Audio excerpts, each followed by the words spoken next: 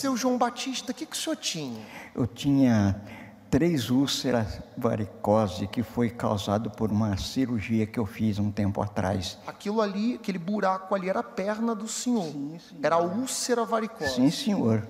Sim, senhor. Foi uma cirurgia que o senhor fez e não cicatrizou. E, e ali gerou essas úlceras. Eram quantas?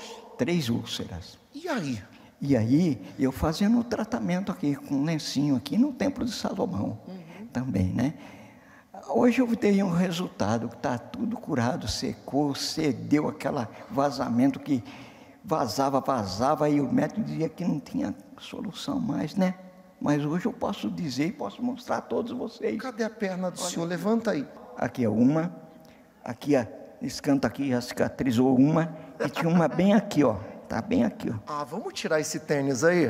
Vamos sim. Vamos, vamos, vamos mostrar. Deus, né? É isso aí. Vamos tirar essa meia. A outra aqui. Deixa eu aqui, ajudar ó. o senhor aqui. Deixa eu tirar a meia. Depois o senhor coloca aqui, ó. aqui. Curado. Ali, olha lá a marca dela aí embaixo. Não tem mais nada hoje. Nada, não tem mais nada aí. Perna perfeita. Perfeita. Hoje eu posso andar, posso correr, entendeu? Tá aqui, ó.